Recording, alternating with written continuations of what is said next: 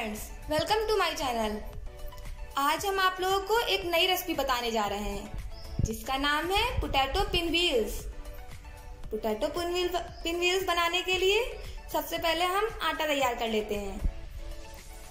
हमने लिए हैं दो कप मैदा और दो चम्मच हमने मैदा अलग बाउल में निकाल लिया है। आधा चम्मच अजवाइन, चार चम्मच हमने रिफाइंड ऑयल लिया है। और नमक स्वाद अनुसार लिया है। सबसे पहले आटा तैयार करने के लिए हम इसमें रिफाइन ऑयल ऐड करेंगे। आप ऑयल की जगह घी का प्रयोग भी कर सकते हैं।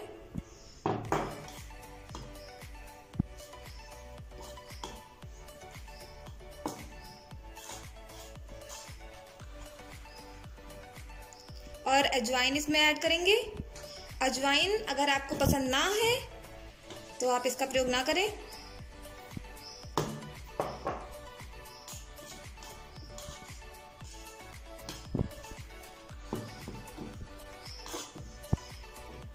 नमक हम डालेंगे स्वाद अनुसार?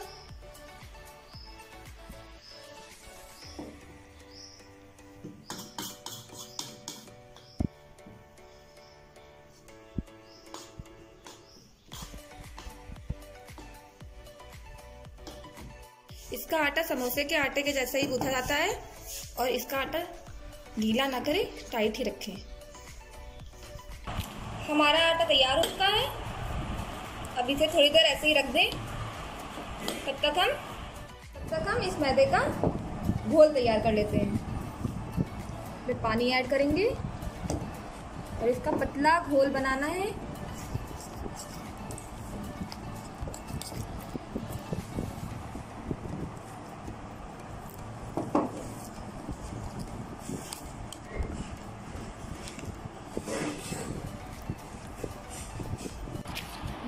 इतना पतला घोल तैयार कर लेंगे।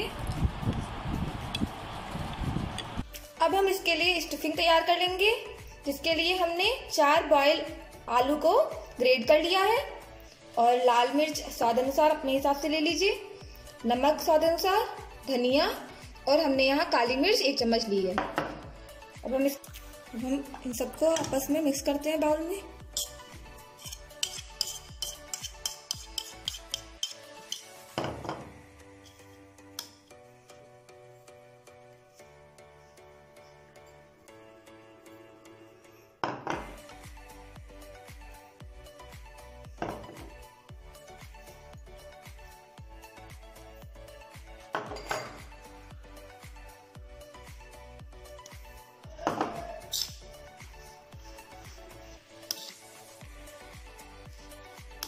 हमारी स्टिकिंग तैयार हो चुकी है।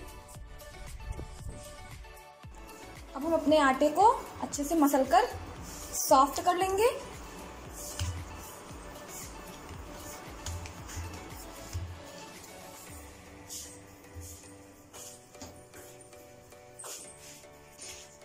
अब इसे रोटी की तरह पतला पतला बेल लेंगे।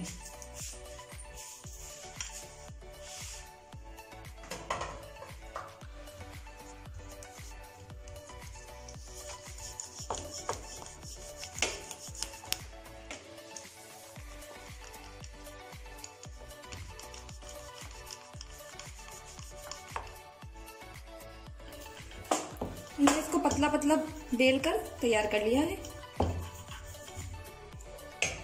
अब हम इसमें अपनी स्टफिंग को पतला पतला लगाएँगे।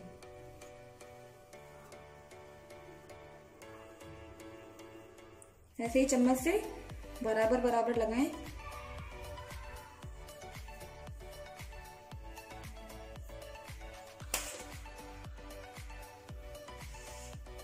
हमारी स्टफिंग अच्छे से लग चुकी है, अब हम इसे रोल कर लेंगे।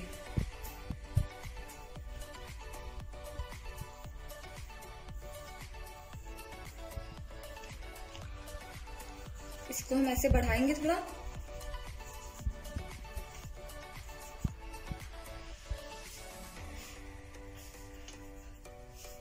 अच्छे से इसको चिपका देंगे।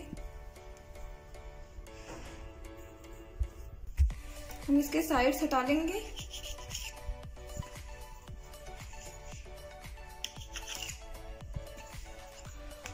और इसको पतला पतला काटेंगे।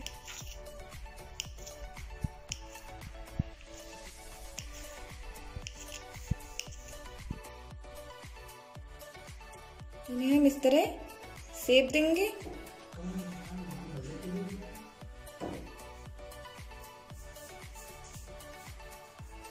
ये देखिए।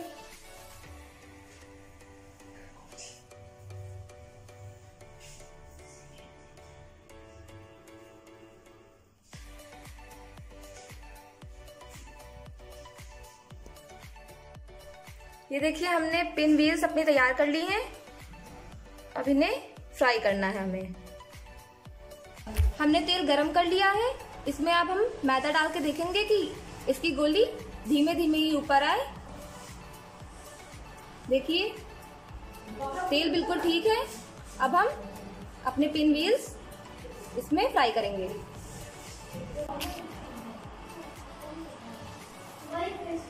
ये ध्यान रखें कि इसमें तेल ज़्यादा गर्म ना हो, क्योंकि हम इसको इसमें डिप करेंगे।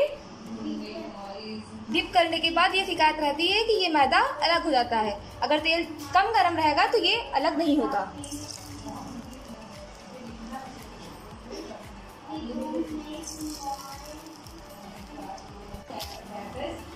ये वही मैदा है, जिसका घोल हमने तैयार किया था।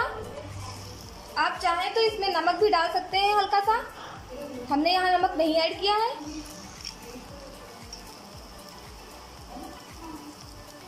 आँच पे 15 मिनट तक पकने देंगे।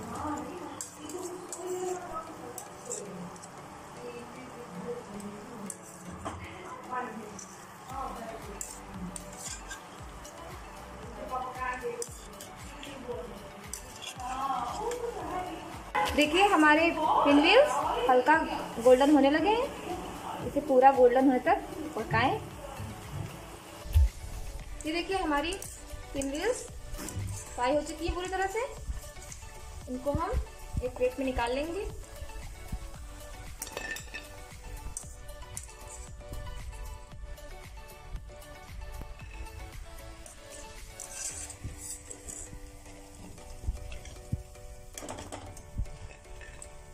अब हम गैस को बंद कर देंगे ताकि हमारा तेल थोड़ा ठंडा हो जाए, क्योंकि हमें इसको फ्राई करने के लिए कम गर्म गर्म ही तेल चाहिए होता है।